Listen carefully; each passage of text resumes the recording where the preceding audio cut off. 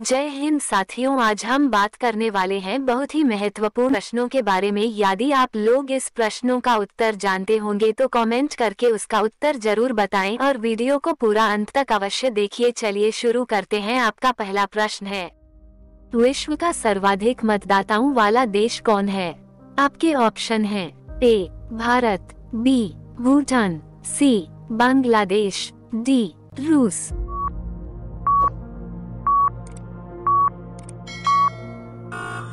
आपका सही जवाब हो जाएगा। ए भारत। आपका दूसरा प्रश्न है। किस ग्रह को शाम का तारा इवनिंग स्टार कहा जाता है? आपके ऑप्शन हैं। ए मंगल बी शुक्र सी पृथ्वी डी बुध।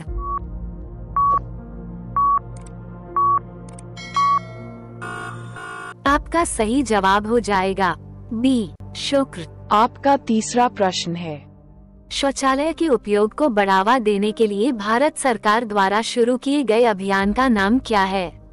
आपके ऑप्शन हैं ए पर्दा है पर्दा बी दरवाज़ा बंद सी खुली सोच डी न तुम हमें देखो।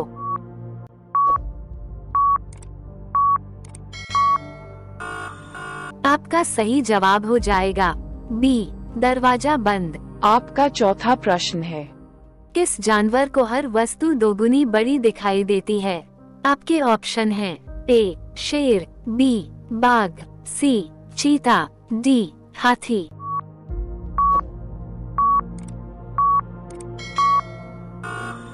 आपका सही जवाब हो जाएगा डी हाथी। आपका पांचवा प्रश्न है।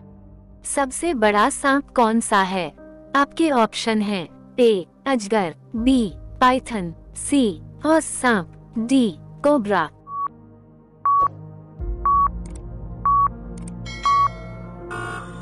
आपका सही जवाब हो जाएगा।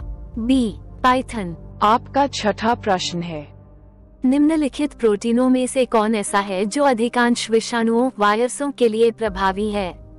आपके ऑप्शन हैं। A glutamine B interferon C casein D इनमें से कोई नहीं।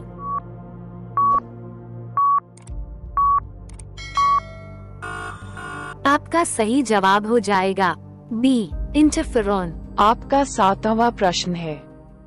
किशकिंधा से बाली द्वारा निष्कासित किए जाने के बाद सुग्रीव कहाँ रहने लगे थे? आपके ऑप्शन हैं। ए मैनाक पर्वत पर। बी ऋषमुख पर्वत पर। सी महेंद्र पर्वत पर। डी इंद्रकील पर्वत पर।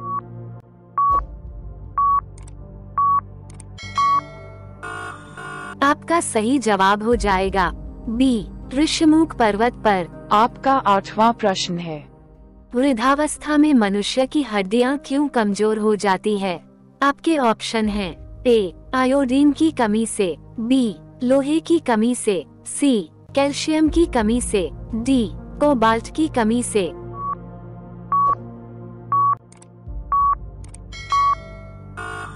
आपका सही जवाब हो जाएगा। सी कैल्शियम की कमी से आपका नौवा प्रश्न है मनुष्य में कुल कितनी हड्डियाँ होती है आपके ऑप्शन हैं ए 212, बी 206, सी 202, डी 200।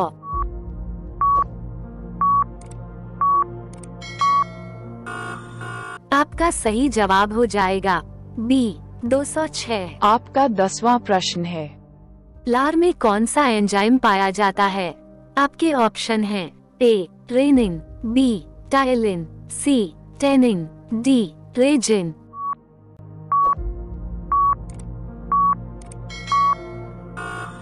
आपका सही जवाब हो जाएगा बी टाइलिन। आपका ग्यारहवा प्रश्न है। नागपाश नामक अस्त्र मेघनाद को किसने प्रदान किया था? आपके ऑप्शन हैं A Shiv B Indra C Brahma D Ravan.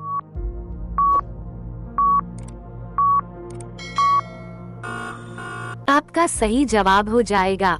B Indra. आपका बारहवा प्रश्न है। चिकित्सा व युद्ध में उपयोग के लिए किन किरणों पर नवीनतम अनुसंधान हो रहा है? आपके ऑप्शन हैं ए एक्स किरणें बी लेसर किरणें सी गामा किरणें डी कैथोड किरणें।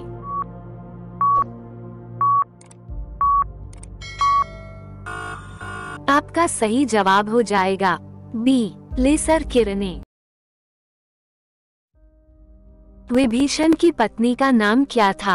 आपके ऑप्शन हैं A, Sursa, B, Sharma, C, Sumati, D, Sangana. आपका सही उत्तर क्या होगा? कमेंट बॉक्स में ज़रूर बताएँ। आप सभी लोग वीडियो को लाइक कर दीजिए, अपने दोस्तों के साथ शेयर कर दीजिए, और चैनल को आप सभी लोग सब्सक्राइब करके बेल आइकॉन ऑन कर लीजिए, ताकि हमारा वीडियो सबसे पहले आप लोगों के पास पहुँचे धन्यवाद।